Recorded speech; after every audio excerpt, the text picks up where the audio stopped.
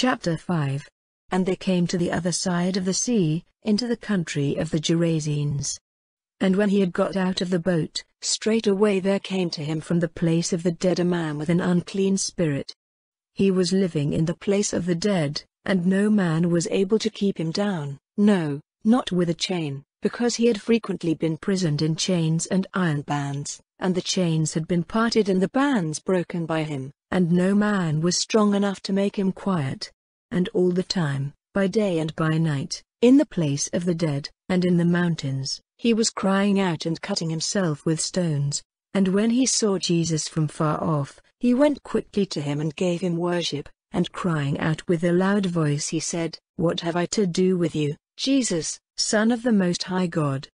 In God's name, do not be cruel to me, for Jesus had said to him, Come out of the man, you unclean spirit. And Jesus said, What is your name? And he made answer, My name is Legion, because there are a great number of us. And he made strong prayers to him not to send them away out of the country. Now on the mountainside there was a great herd of pigs getting their food. And they said to him, Send us into the pigs, so that we may go into them. And he let them do it and the unclean spirits came out and went into the pigs, and the herd went rushing down a sharp slope into the sea, about two thousand of them, and they came to their death in the sea, and their keepers went running and gave an account of it in the town and in the country. And people came to see what had taken place. And they came to Jesus, and saw the man in whom had been the evil spirits seated, clothed and with full use of his senses, and they were full of fear and those who had seen it gave them an account of what had been done to him who had the evil spirits, and of the fate of the pigs. And they made a request to him to go out of their country. And when he was getting into the boat, the man in whom had been the evil spirits had a great desire to come with him.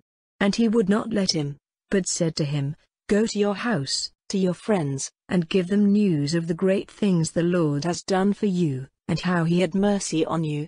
And he went on his way and made public in the country of Decapolis what great things Jesus had done for him, and all men were full of wonder. And when Jesus had gone over again in the boat to the other side, a great number of people came to him, and he was by the sea. And one of the rulers of the synagogue, Jairus by name, came, and seeing him, went down at his feet, and made strong prayers to him, saying, My little daughter is near to death.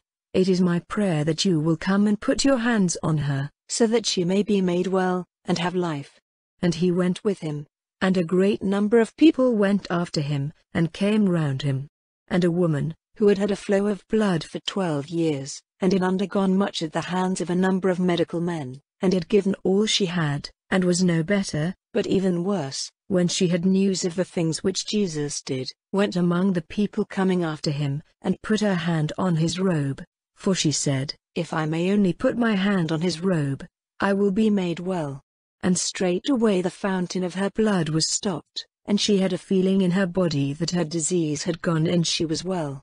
And straightway Jesus was conscious that power had gone out of him, and, turning to the people, he said, Who was touching my robe?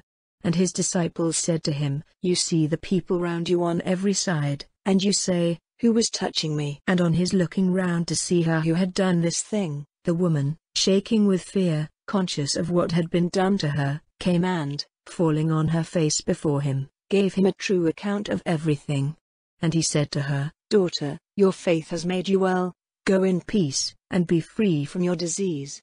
And while he was still talking, they came from the ruler of the synagogue's house, saying, Your daughter is dead. Why are you still troubling the master? But Jesus, giving no attention to their words, said to the ruler of the synagogue, Have no fear, only have faith. And he did not let anyone come with him, but Peter and James and John, the brother of James. And they came to the house of the ruler of the synagogue, and he saw people running this way and that, and weeping and crying loudly. And when he had gone in, he said to them, Why are you making such a noise and weeping? The child is not dead, but sleeping. And they were laughing at him. But he, having sent them all out, took the father of the child and her mother and those who were with him, and went in where the child was. And taking her by the hand, he said to her, Talitha cumi, which is, My child, I say to you, get up. And the young girl got up straight away, and was walking about, she being twelve years old. And they were overcome with wonder, and he gave them special orders that they were not to say anything of this, and he said that some food was to be given to her,